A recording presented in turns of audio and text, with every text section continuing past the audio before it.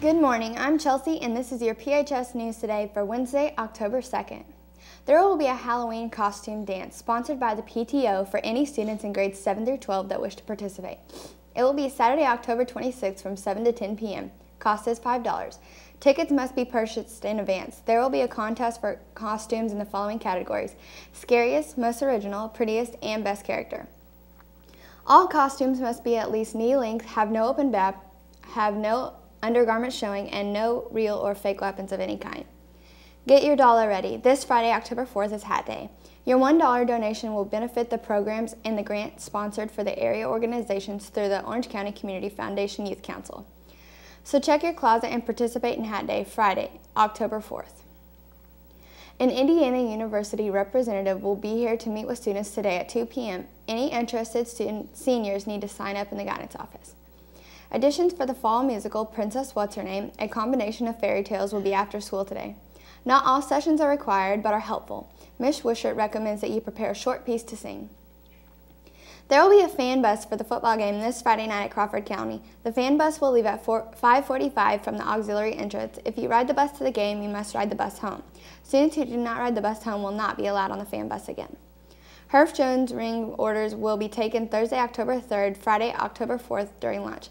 Family order night is tomorrow from 3.15 to 7. Don't forget to bring your down payment. If you need a ring packet, you can pick up one in the main office or the library.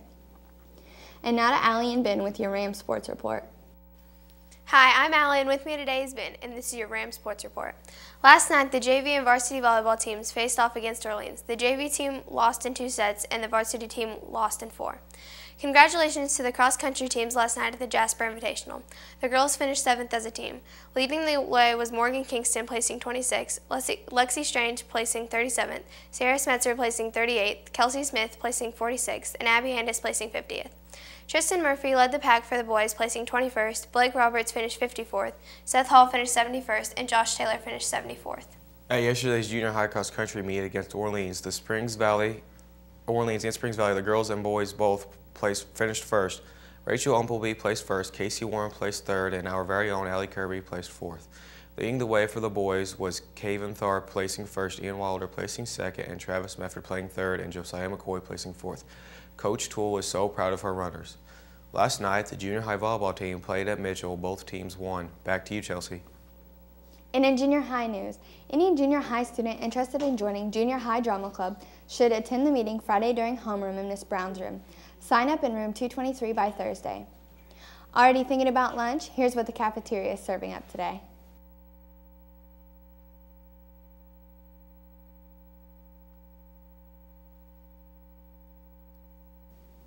Looking for a forecast? Here's Trey with your weather report.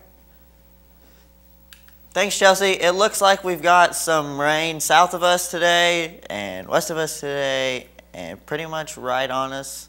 So looks like we got a good chance of rain today.